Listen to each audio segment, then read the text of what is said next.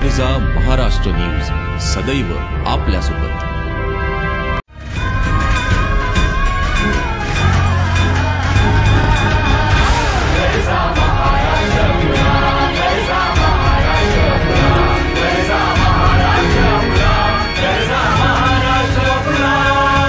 गरजा महाराष्ट्र न्यूज सदैव आपल्यासोबत.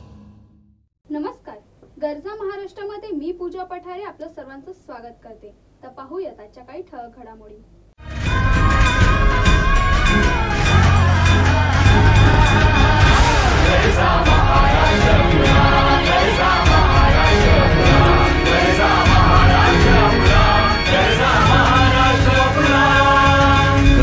महाराष्ट्र न्यूज सदैव आपल्यासोबत. काँग्रेस नेते नारायण राणे यांनी आपल्या मंत्रिपदाचा राजीनामा देऊन तीन आठवडे पूर्ण झाले आहेत. तरीही काँग्रेसकडून कोणत्याही प्रकारची प्रतिक्रिया आतापर्यंत आलेली नाही.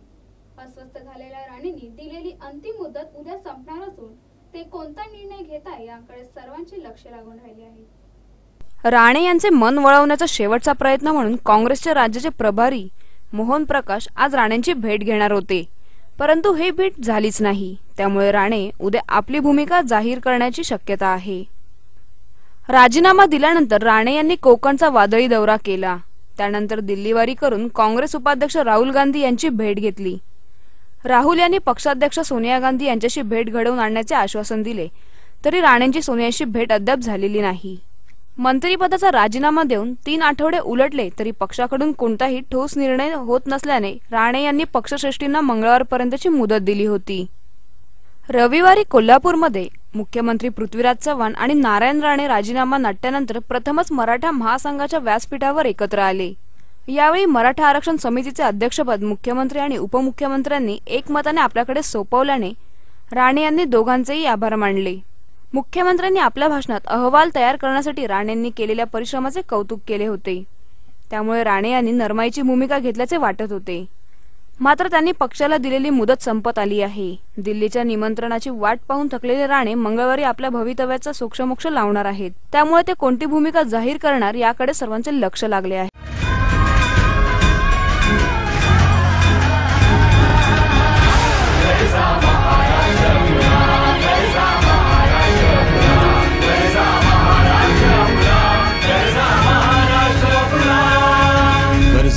महाराष्ट्र न्यूज सदैव आपल्यासोबत.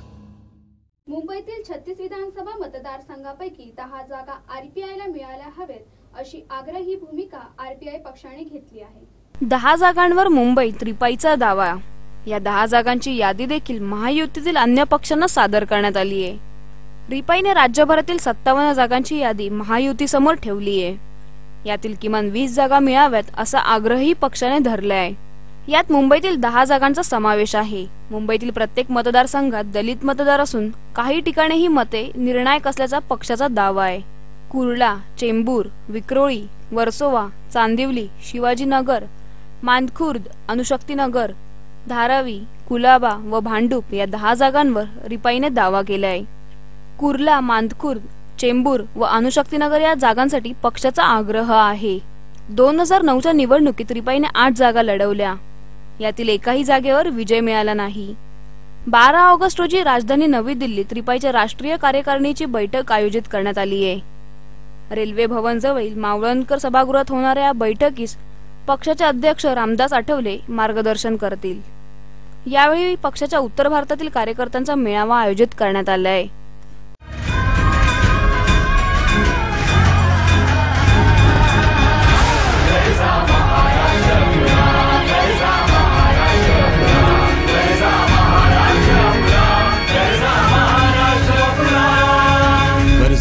महाराष्ट्र न्यूज सदैव आपल्यासोबत. समाजवादी पार्टीचे नेते मुलायम सिंग यादव आणि मी एकाच व्यासपीठावर आलोय याचा कोणीही राजकीय अर्थ काढू नका असे अमर सिंग यांनी सांगितले. ज्ञानेश्वर मिश्रा पार्कच्या उद्घाटनाच्या कार्यक्रमाच्या निमित्ताने सोमवारी चार वर्षानंतर मुलायम सिंह यादव आणि अमरसिंह ही जुनी जोडी एका मंचावर एकत्र आली होती. या कार्यक्रमानंतर उत्तर प्रदेशच्या राजकीय वर्तुळात अमरसिंह आणि समाजवादी पार्टीचे संबंध सुधारत चालल्याची चर्चा सुरू झाली आहे अमरसिंह पुन्हा समाजवादी पार्टीमध्ये प्रवेश करू शकतात अशी ही चर्चा आहे तर. काही जण या घटनेकडे राज्यसभा निवडणुकीच्या दृष्टिकोनातून पाहत आहेत. अमरसिंह यांची राज्यसभेची मुदत नोव्हेंबरमध्ये संपत आहे. त्यामुळे अमरसिंह यांना पुन्हा राज्यसभेवर पाठवण्यासाठी समाजवादी पक्ष पाठिंबा देऊ शकतो. त्यामुळे अमरसिंह यांना पुन्हा राज्यसभेवर पाठवण्यासाठी समाजवादी पक्ष पाठिंबा देऊ शकतो. अमरसिंह यांनी तुर्तास तरी पुन्हा समाजवादी पक्षामध्ये जाण्याची शक्यता फेटाळून लावली आहे चार वर्षापूर्वी दोन हजार दहा मध्ये मतभेद झाल्यानंतर समाजवादी पक्षाने अमरसिंह यांना बाहेरचा रस्ता दाखवला होता.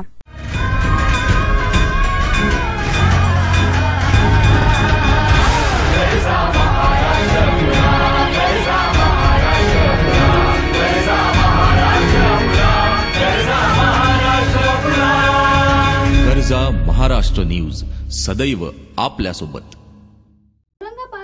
पाणी टंचाई पाठोपाठच डेंग्यूने आपलं डोकं वर काढलं आहे. गेल्या पाच दिवसात एकट्या औरंगाबादमध्ये पाच जणांचा डेंग्यूने बळी घेतला आहे. धक्कादायक गोष्ट म्हणजे यात एका राष्ट्रीय धावपटूचाही समावेश आहे. औरंगाबादमध्ये पाणी टंचाई पाठोपाठ आता डेंग्यूच्या साथीनेही डोकं वर काढलंय. गेल्या पाच दिवसात एकट्या औरंगाबादमध्ये डेंग्यूने पाच जणांचा मृत्यू झालाय. धक्कादायक गोष्ट म्हणजे त्यात एका राष्ट्रीय धावपटूचाही समावेश आहे. अश्विनी बोलकर असं तिचं नाव असून डेंग्यूची लागण झाल्याने अवघ्या तेविसाव्या वर्षी तिचं निधन झालंय. इतकंच नाही तर शहरात सध्या डेंग्यूच्या आजाराचे तब्बल सहाशे रुग्ण उपचार घेत आहेत. दरम्यान शहरातील पाच जणांचा मृत्यू झाल्यानंतर महापालिका प्रशासनाला जाग आली आहे. पालिकेने सर्व रुग्णालयात खबरदारीच्या उपाययोजनांसाठी आदेश दिलेत. राज्यमंत्री राजेंद्र दर्डा यांनी काल जिल्हा प्रशासनाची तातडीची बैठक बोलावली आणि कार्यवाहीच्या सूचना दिल्या आहेत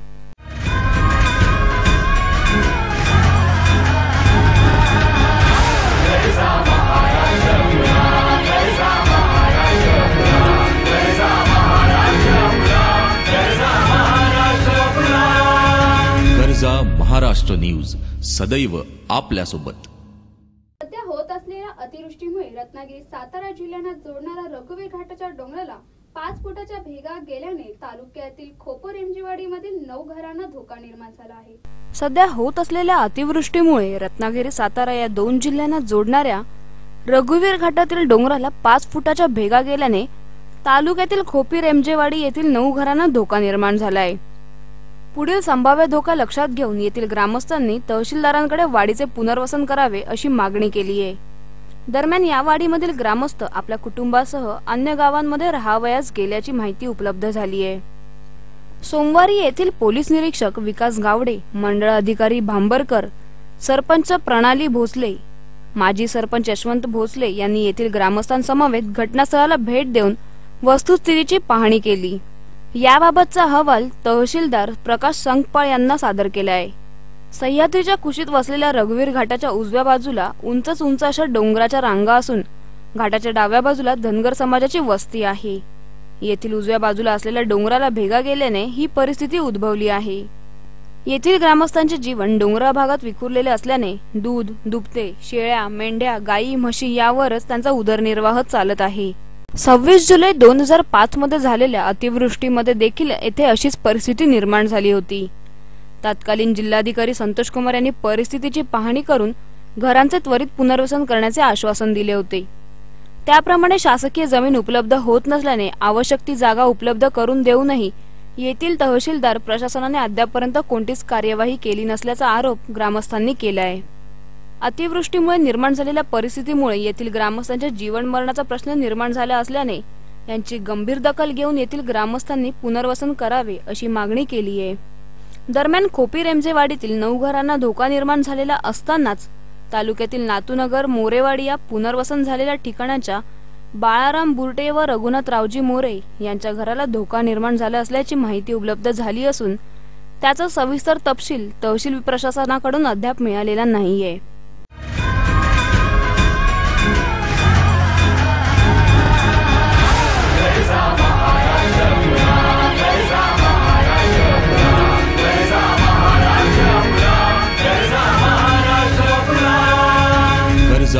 महाराष्ट्र न्यूज सदैव आपल्यासोबत. ग्राहक न्यायालयाने दुकानदारांना चपराक लगावली आहे. एकदा विकत घेतलेला माल किंवा वस्तू सदोष असल्यास तो परत करणे हे बंधनकारक असल्याचे निर्णय महाराष्ट्र ग्राहक तक्रार निवारण आयोगाने दिला आहे. दुकानदाराने सदोष अथवा कमी प्रतीची वस्तू परत न घेणे किंवा बदलून न देणे बेकायदा आहे. असा निकाल महाराष्ट्र ग्राहक तक्रार निवारण आयोगाने दिलाय. याबाबत पवई येथील दुकानदार यांनी एक तक्रार दाखल केली होती. मुंबईतील पवई आयटीआयमध्ये नोकरी करणारे आणि तेथेच कॅम्प्समध्ये राहणारे प्रेम तुकाराम लोके यांनी केलेले अपील मंजूर करण्यात आले. राज्य आयोगाचे अध्यक्ष न्यायाधीश आर सी चव्हाण सदस्य धनराज खामतकर यांनीही आदेश दिला आहे. पवई येथील महाराष्ट्र फॅमिली शोरूमचे मालक नरपत एस पुरोहित यांनी लोके यांना त्यांनी परत केलेल्या मालाची संपूर्ण रक्कम तीन हजार पन्नास व एक हजार रुपये अशी भरपाई चार आठवड्यात द्यायची आहे. अन्यथा त्यावर नऊ टक्के दराने व्याज लागू होईल असे आपल्या आदेशात म्हटलंय. गतवर्षी ऑगस्टमध्ये महाराष्ट्र फॅमिली शोरूम मधून दोन पॅन्ट आणि दोन शर्ट खरेदी केले होते. दहा टक्के सूट वजा करून लोके यांनी या कपड्यांसाठी एकूण तीन हजार पन्नास रुपये दिले. दुसऱ्या दिवशी लोके कपडे बदलून घेण्यासाठी पुन्हा त्या दुकानात गेले. पण दुकानदाराने बदली म्हणून दाखवलेल्या कपड्यांच्या दर्जाचे समाधान न झाल्याने त्यांनी पैसे परत करण्याची मागणी केली. परंतु दुकानदार पुरोहित यांनी पैसे देण्यास नकार दिलाय. वकिलाची नोटीस देऊनही दुकानदार दाद देईना. तेव्हा त्यांनी मुंबई उपनगर जिल्हा ग्राहक तक्रार निवारण मंचाकडे तक्रार दाखल केली.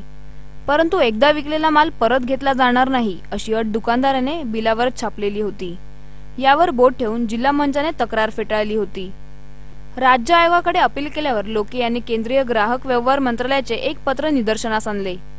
एकदा विकलेला माल परत घेतला जाणार नाही किंवा बदलूनही दिला जाणार नाही अशी अट दुकानदारांनी त्यांच्या पावतीवर अथवा बिलावर छापण्यास बंदी आहे. राज्य आयोगाने लोके यांच्या अपिलावर नोटीस काढताच दुकानदार पुरोहित वकिलासह हजर झाले व त्यांनी लोके यांना सर्व पैसे परत करण्याची स्वतःहून तयारी दर्शवली. आयोगाने त्याखेरीज एक हजार रुपये भरपाई देण्याचाही आदेश दुकानदारास दिलाय. आहे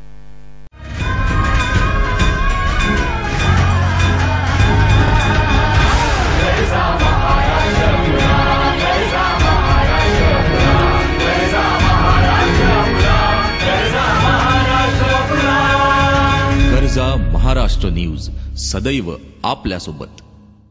पुढील बातमी आहे मुंबई येथील.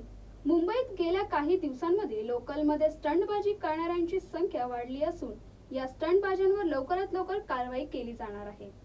मुंबईच्या लोकलमधून प्रवास करताना दारात लटकणे.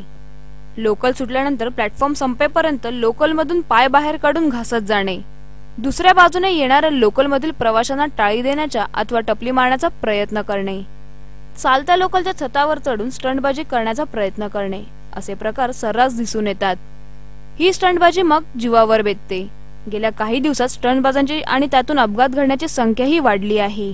पश्चिम रेल्वेने लोअर परळ ते माहीम या स्थानकांदरम्यान वर्षभरात सहाशे स्टंटबाजांवर कारवाई केली आहे. त्यात पंधरा वर्षाखालील तीनशे साठ मुलांचा समावेश आहे अशी माहिती त्रिवेदी यांनी दिली आहे. स्टंटबाजांना लगाम घालण्यासाठी प्रत्येक मंगळवारी विशेष मोहीम हाती घेतली जाते.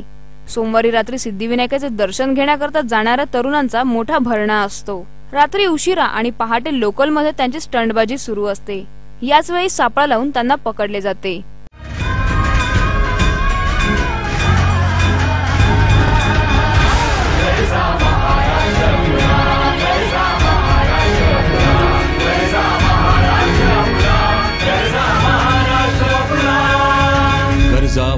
महाराष्ट्र न्यूज सदैव आपल्यासोबत.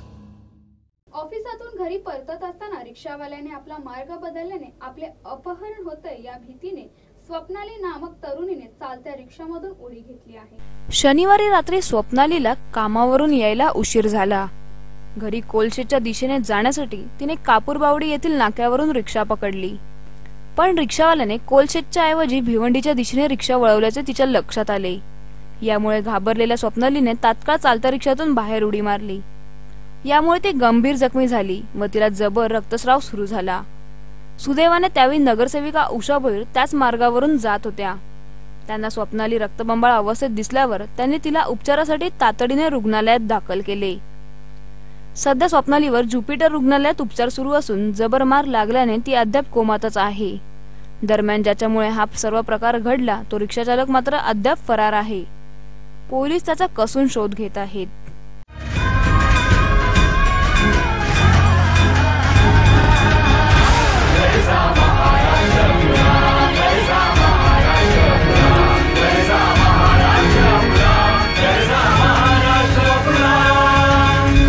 महाराष्ट्र न्यूज. सदैव आपल्यासोबत. प्रसिद्ध दिग्दर्शक संजय जाधव यांच्या आगामी चित्रपट प्यारवाली लव्ह स्टोरी याचं म्युझिक लॉन्च काल मुंबई येथे मोठ्या दणकेत साजरं झालं.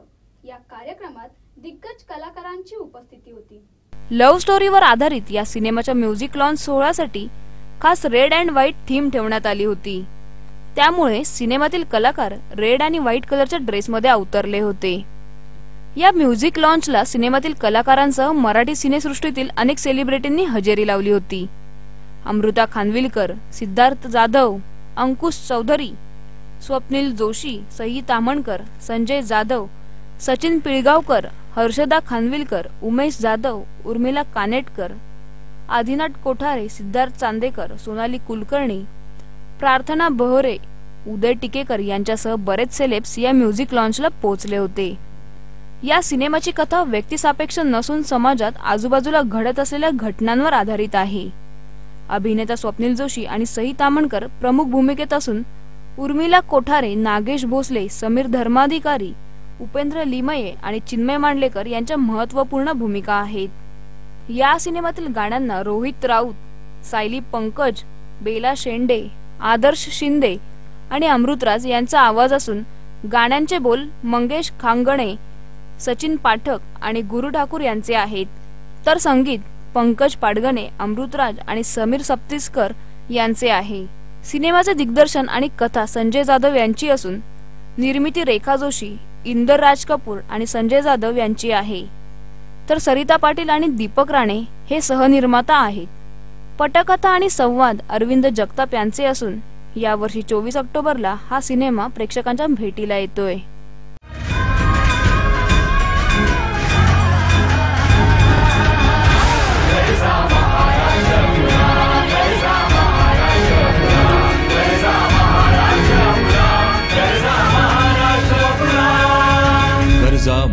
महाराष्ट्र न्यूज सदैव आपल्यासोबत. भारतातील फिल्म इंडस्ट्रीमधील प्रसिद्ध अभिनेत्री जेनिलिया डिसूजा आज आपला सत्तावीसवा वाढदिवस साजरा करते. पाच ऑगस्ट एकोणीसशे सत्याऐंशी रोजी तिचा जन्म मुंबई येथे झाला. जेनिलिया डिसूजाने बॉलिवूड शिवाय साऊथ इंडस्ट्रीमध्ये देखील काम केले आहे. जाने तू या जाने ना तेरे नाल लव हो गया मस्ती. चान्स पे डान्स या बॉलिवूड सिनेमांमध्ये जेनेलिया झळकली आहे याशिवाय जेनेलियाने अनेक जाहिराती सुद्धा केल्या असून एक टीव्ही रियालिटी शो ही होस्ट केला आहे.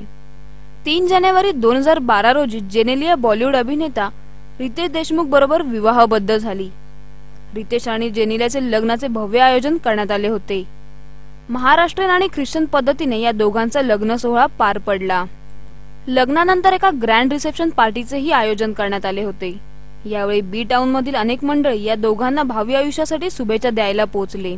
बरेच सेलिब्रिटी या दोघांच्या लग्न आणि रिसेप्शन पार्टीतही पोहोचले होते. लवकरच जेनेलिया आई होणार आहे असे स्वतः रितेशने गोड बातमी आपल्या चाहत्यांना अलीकडच्या काळात दिली आहे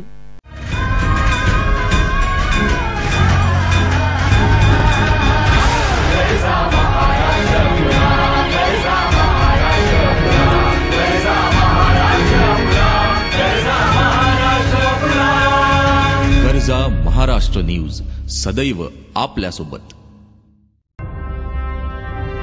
महाराष्ट्र न्यूज सदैव आपल्यासोबत.